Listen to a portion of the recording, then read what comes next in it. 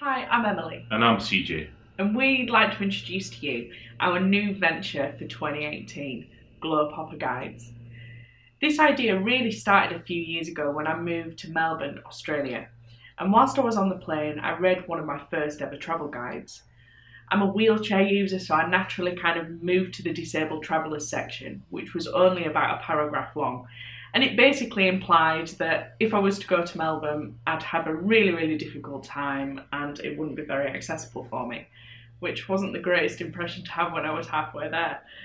Um, so I've kind of thought it's a bit rubbish, really, to have such a lack of information on accessible and inclusive travel. Whether or not you're disabled, you're gay, you've got some other kind of requirement, you've got a large family, um, or an elderly relative, or something like that.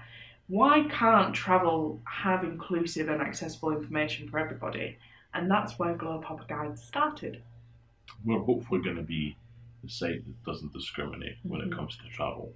But what we need is, you know, a lot of feedback from you, a lot of information from you, just to let us know where you'd like us to go, what you'd like to see, what kind of content, what kind of direction you'd like, you know, Hopper Guides to take. We're going to be coming at you with vlogs, we're going to be coming at you with Twitter content and Instagram content as well. You're going to see all of our travels as we basically build the guide in front of your eyes.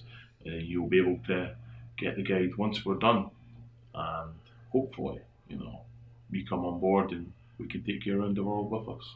Absolutely. And get ready for January 2018 when we go to Morocco.